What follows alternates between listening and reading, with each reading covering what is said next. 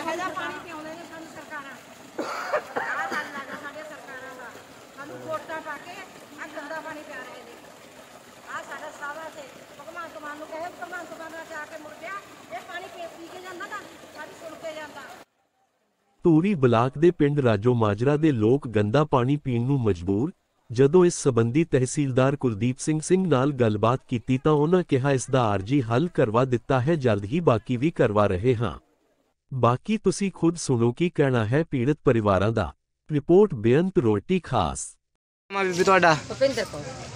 ਅੱਜ ਤੁਸੀਂ ਪਾਣੀ ਵਾਲੀ ਟੈਂਕੀ ਤੇ ਇਕੱਠੇ ਹੋਏ ਹੋ। ਤੁਸੀਂ ਆਪਣੇ ਆਪ ਇਕੱਠੇ ਹੋਏ ਹੋ ਜਾਂ ਤੁਹਾਨੂੰ ਕਿਸੇ ਨੇ ਬੁਲਾਇਆ ਸੀ ਉਰੇ? ਸਾਨੂੰ ਕੁਲਦੀਪ ਸਿੰਘ ਨੇ ਵੀ ਦਿੱਤਾ ਸੀਗਾ ਟਾਈਮ ਟਾਈਮ ਸਾਨੂੰ ਤੇ 4 ਵਜੇ ਦਾ।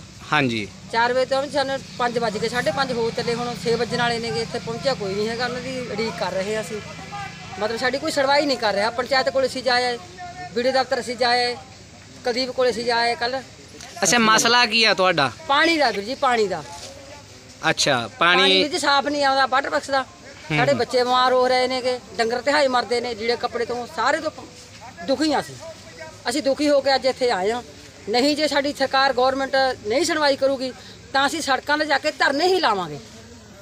ਮੇਰਾ ਨਾਮ ਕੁਲਦੀਪ ਸਿੰਘ ਜੀ ਮੈਂ ਪਿੰਡ ਰਾਜੋਮਾਜਾ ਦਾ ਵਸਨੀਕ ਹਾਂ।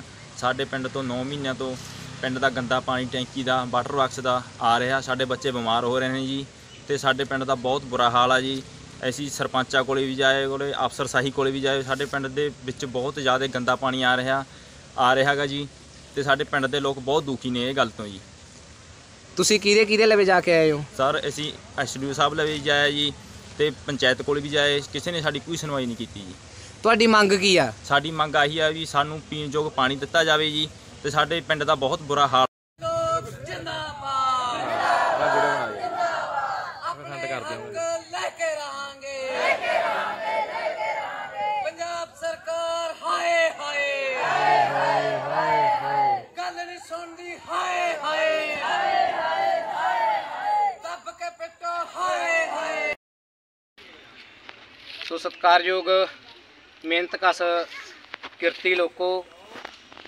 ਮੈਂ ਬਲਜੀਤ ਨਮੋਲ, ਕ੍ਰਾਂਤੀਕਾਰੀ ਪਿੰਡੂ ਮਜ਼ਦੂਰ ਯੂਨੀਅਨ ਪੰਜਾਬ ਦਾ ਜ਼ਿਲ੍ਹਾ ਪ੍ਰਧਾਨ। ਸੋ ਅੱਜ ਅਸੀਂ ਪਿੰਡ ਰਾਜੋ ਮਾਜਰੇ ਦੇ ਵਿੱਚ ਜੋ ਪਾਣੀ ਵਾਲੀ ਟੈਂਕੀ ਹੈ, ਇਸ ਦੇ ਉੱਤੇ ਇਕੱਠੇ ਖੜੇ ਆ ਇਹ ਸਾਡੇ ਕਿਰਤੀ ਲੋਕ ਨੇ ਜਿਹੜੇ ਸਾਡੇ ਨਾਲ ਇੱਥੇ ਖੜੇ ਨੇਗੇ।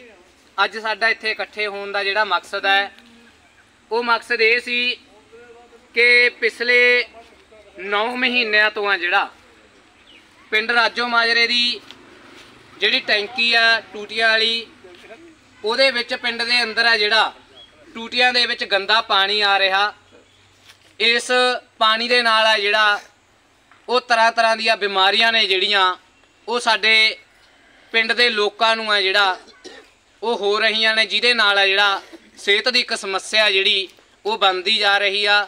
ਸੋ ਇਸ ਮਸਲੇ ਨੂੰ ਲੈ ਕੇ ਅਸੀਂ ਕੱਲ ਤਹਿਸੀਲ ਧੂਰੀ ਦੇ ਵਿੱਚ ਤਹਿਸੀਲਦਾਰ ਕੁਲਦੀਪ ਸਿੰਘ ਨੂੰ ਇੱਕ ਮੰਗ ਨੂੰ ਵਿਸ਼ਵਾਸ ਦਿਵਾਇਆ ਕਿ ਕੱਲ 4 ਵਜੇ ਦੇ ਕਰੀਬ ਹੈ ਜਿਹੜਾ ਮੈਂ ਪਿੰਡ ਦੇ ਵਿੱਚ ਖੁਦ ਮੌਕਾ ਦੇਖਣਾ ਜਿਹੜਾ ਉਹ ਆਉਂਗਾ ਤੇ ਉਸ ਤੋਂ ਬਾਅਦ ਹੈ ਜਿਹੜਾ ਇਸ ਮਸਲੇ ਦਾ ਫੌਰੀ ਹੈ ਜਿਹੜਾ ਉਹ ਹੱਲ ਕੀਤਾ ਜਾਊਗਾ। ਤਾਂ ਅਸੀਂ ਇਸ ਵਿਸ਼ਵਾਸ ਦੇ ਉੱਤੇ ਮੰਗ ਪੱਤਰ ਦੇ ਕੇ ਅੱਜ ਧਰਮ ਇੱਥੇ ਮਤਲਬ ਟੈਂਕੀ ਦੇ ਉੱਤੇ ਇਕੱਠੇ ਹੋਏ ਆ ਲੋਕ ਤੇ ਪ੍ਰਸ਼ਾਸਨ ਦਾ, ਉਸ ਤਹਿਸੀਲਦਾਰ ਦਾ ਕੁਲਦੀਪ ਸਿੰਘ ਜੀਆਂ ਦਾ ਅਸੀਂ ਇੰਤਜ਼ਾਰ ਕਰ ਰਹੇ ਆ। ਤਕਰੀਬਨ 4 ਵਜੇ ਤੋਂ ਲੈ ਕੇ ਹੁਣ 5:30 ਦੇ ਕਰੀਬ ਆ ਜਿਹੜਾ ਉਹ ਸਮਾਂ ਜਿਹੜਾ ਉਹ ਹੋ ਚੁੱਕਿਆ, ਪਰ ਇੱਥੇ ਕੋਈ ਵੀ ਅਧਿਕਾਰੀ ਆ ਜਿਹੜਾ ਉਹ ਨਹੀਂ ਪਹੁੰਚਿਆ ਹੈਗਾ। ਤਾਂ ਇਸ ਨੂੰ ਲੈ ਕੇ ਸਾਡੇ ਪਿੰਡ ਦੇ ਲੋਕਾਂ ਦੇ ਅੰਦਰ ਕਾਫੀ ਰੋਸ ਪਾਇਆ ਜਾ ਰਿਹਾ ਤੇ ਗੰਭੀਰ ਜਿਹੜੀ ਸਮੱਸਿਆ, ਇਹ ਮੂੰਹ ਅੱਡੀ ਖੜੀ ਹੈ।